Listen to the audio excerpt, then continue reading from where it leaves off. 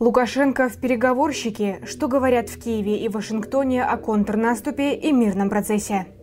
Спустя три недели после начала контрнаступа в Минобороны Украины заявили, что ждать Блицкрига не стоит, да и в целом ожидания от наступления ВСУ были завышенными. То, что украинская армия столкнулась с трудностями, признали и в Вашингтоне. А между тем в Киеве заговорили о мире. Секретарь СНБО Украины Алексей Данилов не исключил участие президента Беларуси Александра Лукашенко в переговорах по мирному урегулированию. О войне, мире и вынесенных уроках рассказываем в обзоре Белта.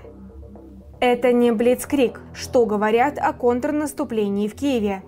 Глава оборонного ведомства Украины Алексей Резников в интервью американскому телеканалу Fox News признал, что ожидания от контрнаступления ВСУ оказались преувеличенными. Таким образом, министр подвел своеобразную черту после трех недель с момента начала украинского наступа. Правда, Резников затем добавил, что нынешние действия украинской армии не являются блицкригом. Это всего лишь подготовительная операция. Сколько украинских солдат погибло в этой операции, министр не сообщил. По словам Резникова, россияне выстроили сильные оборонительные линии. Ранее на это обращали внимание многие западные эксперты. Резников также заявил, что уже в нынешнем году могут произойти события, которые окажут решающее влияние на исход украинского конфликта. «Этот год изменит правила игры», – заявил министр, не вдаваясь в подробности. Резников также подтвердил, что ВСУ надеются захватить территории, которые соединяют Крымский полуостров с остальной частью России. При этом он заявил, что это не является единственным сценарием. Все будет зависеть от того, как сложится ситуация на поле боя. «У нас есть разные сценарии действия на Востоке и на Юге», – сказал министр.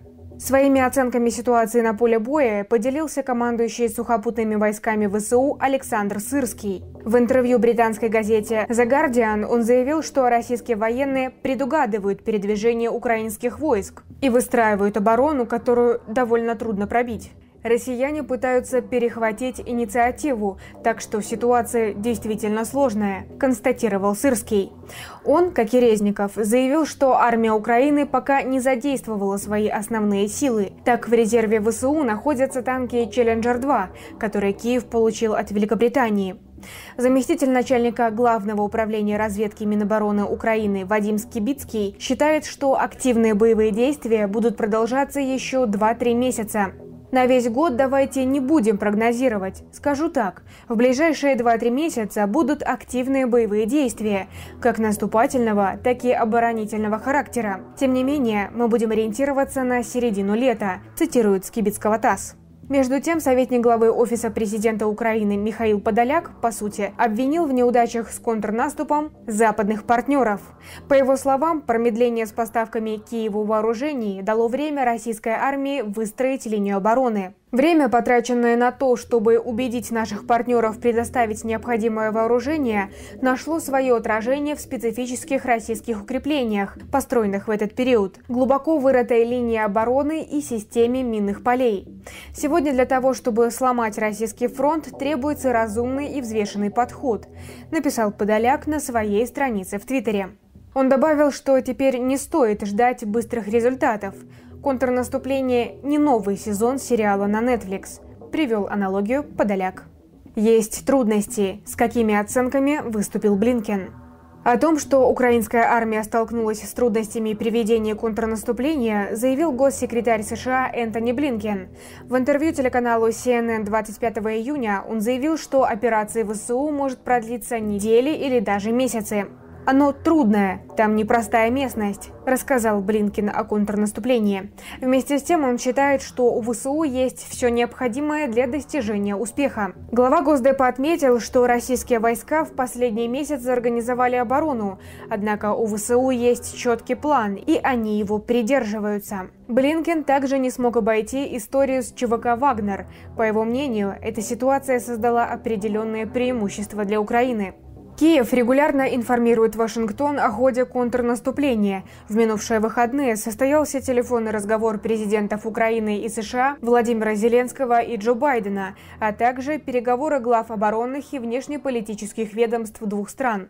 В частности, сообщалось, что Зеленский обсудил с Байденом расширение поставок Киеву оружия большой дальности. По словам украинского президента, стороны также обсудили работу по реализации так называемой «формулы мира», предложенной Киевом, и подготовку к саммиту мира.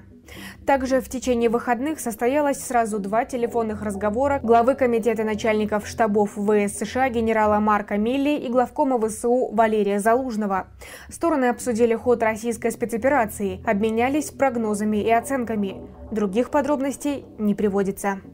Лукашенко в переговорщике. Что известно о мирных планах Киева? В Совете нацбезопасности и обороны Украины не исключает участие президента Беларуси Александра Лукашенко в переговорах по урегулированию украинского конфликта. Об этом 25 июня заявил секретарь СНБО Алексей Данилов. По его словам, группа потенциальных российских переговорщиков уже сформирована, но на данный момент остается неизвестной. Тем не менее, он допустил участие Александра Лукашенко в мирном процессе. Каких-либо подробностей глава СНБО не озвучил. Напомним, что Беларусь выступила с мирными инициативами еще в первые дни украинского конфликта. Александр Лукашенко лично вел переговоры с лидерами Украины и России с целью остановить боевые действия. В итоге на территории Беларуси удалось провести несколько раундов переговоров делегаций России и Украины. Затем стороны провели очную встречу в Стамбуле. В конечном итоге украинская сторона в одностороннем порядке вышла из переговорного процесса. Ранее офицер Главного управления разведки Минобороны Украины Денис Десятник заявил, что нынешний конфликт рано или поздно завершится переговорами. Говорить, что мы сейчас всех 100% выгоним за границы 1991 года и завтра мы победим, это полная чушь и бред. Все равно будут переговоры. Все войны заканчиваются переговорами, заявил Десятник. При этом он отметил, что по итогам переговоров Украина может передать России некоторые территории, в частности Донбасс. Такое решение было бы правильным, поскольку население Донбасса является пророссийским, и мышление людей не поменять, заявил офицер ГУР. Между тем, немецкое издание Bild сообщило, что США могут усилить давление на Украину в вопросе переговоров в случае провала контрнаступления. Издание отмечает, что пока рано говорить об исходе контрнаступления, однако очевидно, что украинская армия не смогла добиться прорыва. Страшный сценарий, который также обсуждается за закрытыми дверями в Украине, выглядит следующим образом. Если наступление не увенчается успехом при наличии западного вооружения, то может усилиться давление на Украину со стороны США, чтобы начать говорить о переговорах, приводит выдержку из статьи ТАСС. Немецкий телеканал АРД со ссылкой на источники сообщил, что официальные переговоры по урегулированию украинского конфликта могут состояться в июле. По данным телеканала, 24 июня в Копенгагене в условиях строжайшей секретности состоялась встреча представителей Украины, ЕС, Индии, Бразилии, ЮАР. Цель Запада состояла в том, чтобы заручиться поддержкой государств БРИКС, которые придерживаются нейтралитета в вопросе Украины. Позже в Киеве подтвердили, что в Копенгагене состоялась встреча представителей Запада и глобального юга. Это станет уроком, как развиваются события в зоне СВО. Тем временем боевые действия в зоне СВО продолжаются. Замминистра обороны Украины Анна Маляр подвела итоги боевых действий за минувшую неделю. По ее данным, обстановка на юге за прошедшую неделю существенных изменений не претерпела. ВСУ смогли занять территорию в 17 квадратных километров. При этом, по ее словам, российская армия на юге в течение недели 148 раз атаковала украинские позиции. На востоке ВСУ в течение недели имели тактические тактический успех, но воевали также и в обороне. Российская армия наступала на Лиманском, Бахмутском, Авдеевском и Маринском направлениях. Там и сейчас продолжаются тяжелые бои. За прошедшую неделю на этих направлениях произошло около 250 боевых столкновений, рассказала Маляр. Она также сообщила, что ВСУ в конце недели продвинулись на 1-2 километра у Орехово-Васильевки, Бахмута, Богдановки, Ягодного, Клещеевки и Курдюмовки. Об освобождении конкретных населенных пунктов на обоих направлениях не сообщается. Также сегодня стало известно, что министр обороны России Сергей Шойгу проинспектировал передовой пункт управления западной группировки войск. Министр поручил командующему составу продолжать ведение разведки для заблаговременного вскрытия планов противника. Шойгу также провел совещание с командованием западной группировки войск. В целом министр обороны отметил эффективность действий группировки «Запад». ВСУ пытаются наступать на Донецком, Краснолиманском и Южнодонецком направлениях, отмечается в сегодняшней сводке Минобороны России. В ведомстве сообщили, что военные нанесли удар по складам артиллерийских боеприпасов ВСУ, в том числе иностранных. Все объекты поражены. Кроме этого, уничтожен один из узлов связи ВСУ. Средства ПВО России за сутки уничтожили 19 украинских беспилотников, самоходку «Акация», две самоходные артиллерийские установки «Паладин» производства США. В Рио главы ДНР Денис Пушилин сообщил, что российские силы значительно улучшили свои позиции на Краснолиманском и Авдеевском направлении. Ситуация на флангах в Артемовске сложная, но контролируемая. После серьезных потерь в живой силе и технике ВСУ проводит перегруппировку на Угледарском направлении.